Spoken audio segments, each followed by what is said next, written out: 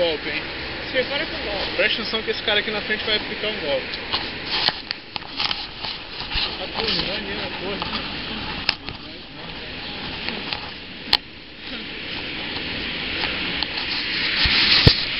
Não resol...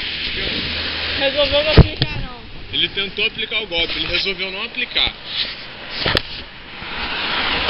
Ele deixa a escova de sapateiro dele cair, você tropeça na escova, ele vem, ah, desculpa tal. Aí você oferece para limpar o seu pé. Aí você deixa e no final ele te cobra um valor exorbitante, você tem que pagar.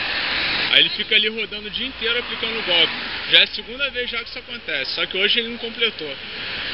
Aí ele fica lá procurando gente pra cair no golpe dele. Anteontem tentou, a gente desviou. Aí hoje